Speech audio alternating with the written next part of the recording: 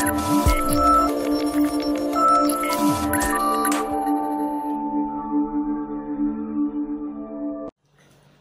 friends, welcome back to our channel. So in the previous session we have seen a few C language interview questions and in this session let us see uh, some more interview questions. The first one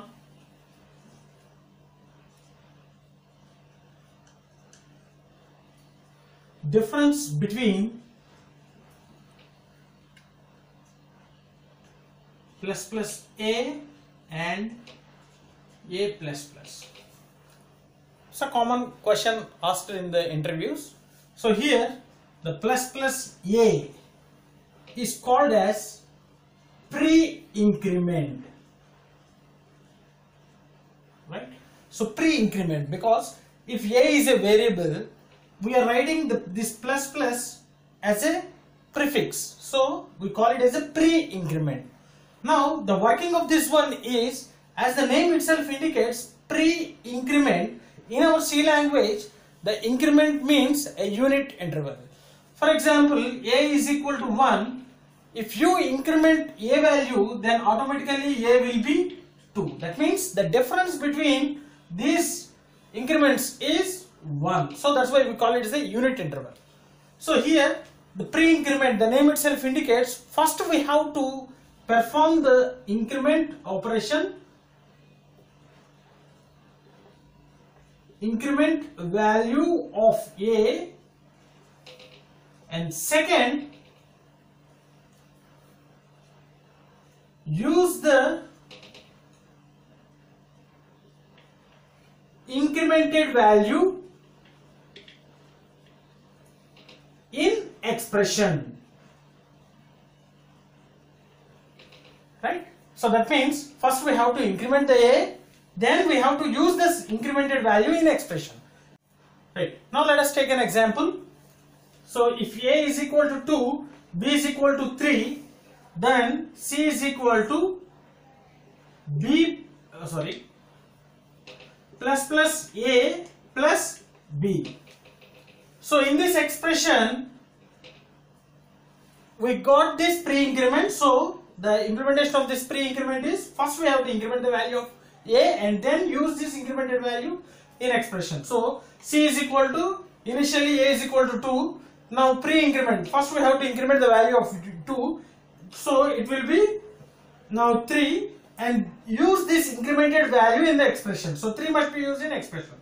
3 plus 3 it is equal to 6 so this is the working of pre-increment now the same expression if you take it a plus plus we call it as post increment right? So here the working of post increment means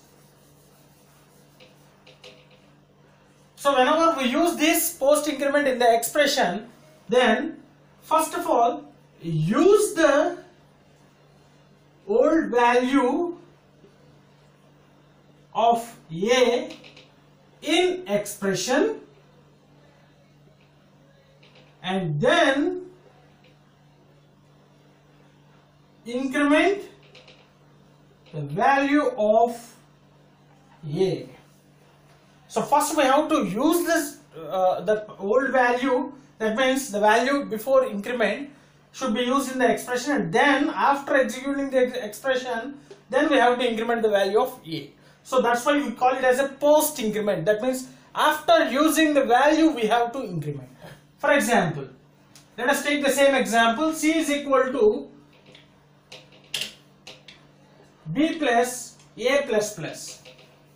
B plus a plus plus. Here we are using post increment now according to our definition the b value is 3 plus as it is a post increment first we have to use the old value of a in expression. So old value and before that means before using the val uh, before incrementing the value of a the value is 2 so this 2 must be used here. So the expression will be 5 and if you try to print a now a will be 3 so after using the old value in the expression it will be incremented to 1 so this is the major difference between the pre-increment and post post increment the same explanation will be applied in pre-decrement and post-decrement. Here we will increase the value, in the decrement we will decrease the value. So this is a common question you can expect in each and every interview. The difference between a pre-increment and a post-increment. Hope you understood this question, right? Next.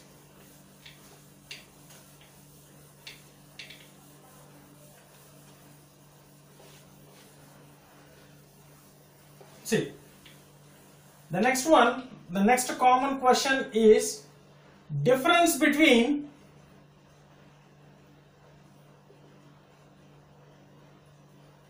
is equal to and double is equal to. So a little bit confusion among these two, single is equal to and double is equal to. A simple thing is equal to, single is equal to is an assignment operator. Assignment operator.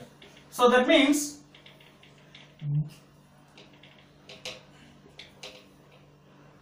so when we will use this single is equal to. So whenever we are assigning some value to the variable, then we will use this is equal to. For example, a is equal to 2. That means 2 is assigned to the variable a. c is equal to a plus b. The result of an expression a plus b is assigned to the variable c. So this is called assignment operator. If you want to assign a value to the variable. Next, double is equal to. Double is equal to means comparison operator. That means a relational operator.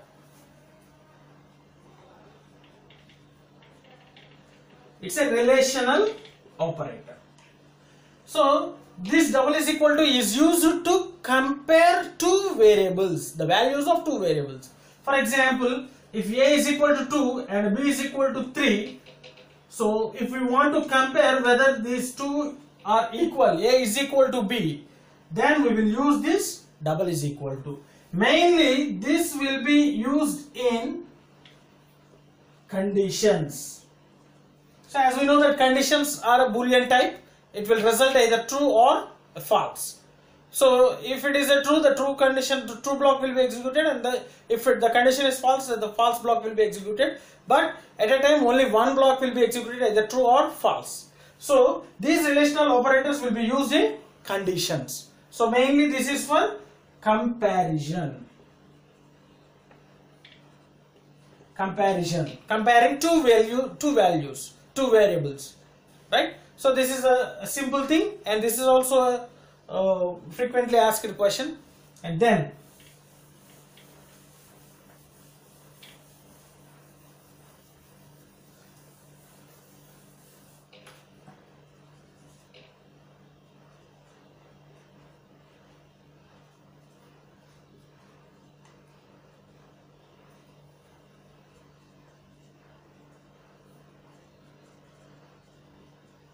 see the most common thing uh, is the I mean the most common question uh, is the difference between the bitwise operators and logical operators because here we call it as AND OR and here also we are calling as AND OR.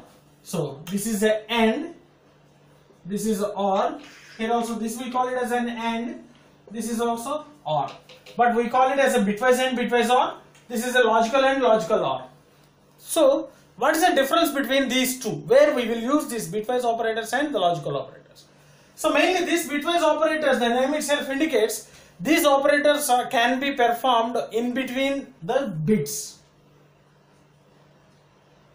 These can be implemented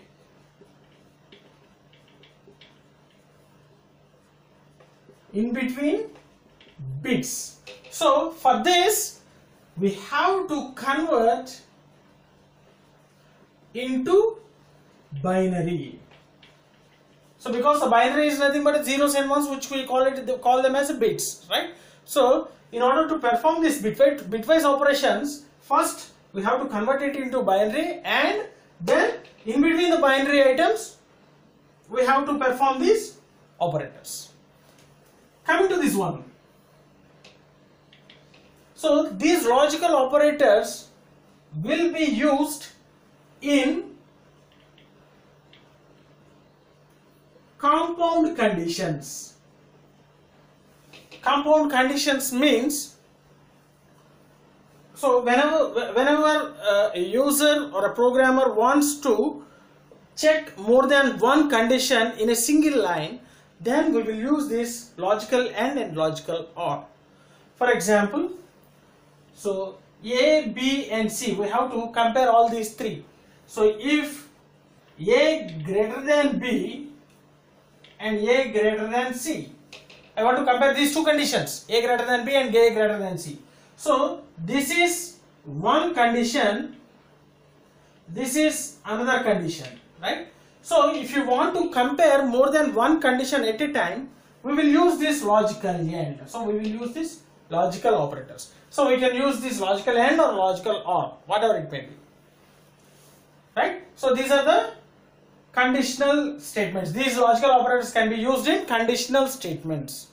So only uh, if any two variables having only a single relational operator, we call it as a simple condition and whatever the condition or an expression which consists of these logical operators we call them as a compound conditions that means compound conditions are nothing but more than one simple condition.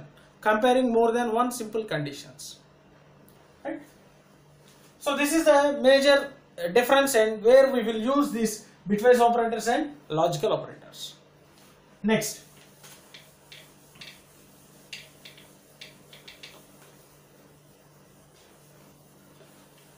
Yes. The next one is also very very important. That is the differences between data types and modifiers.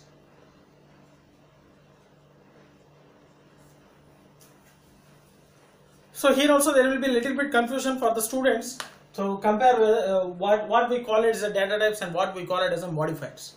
Right. So we know that fundamental data types in our C language int, float character double int float character and double. Now what are the modifiers? So here these modifiers are mainly used to increase or reduce the size or storage size or storage we can call it anything or the range of existing data type. Existing data type right? So see so we know every data type every fundamental data type has a boundary. That means a range. So this range depends upon the storage of that particular data type. So these modifiers will increase or reduce the size or storage or the range of existing data types. That means if you want to store a 40,000 the value of 40,000 in integer variable this cannot be done because this 40,000 exceeds the range of integer data type. Right? So this 40,000 will exceeds the range of integer data type. So we can't store the same value in integer variable. For this type of problems we have to use these modifiers. So there are two types of modifiers. One is size modifiers. So size modifiers are nothing but short, long. So short means it will reduce the range, long means it will increase the range. Next, sign modifiers. So here sign means positive sign and a negative sign.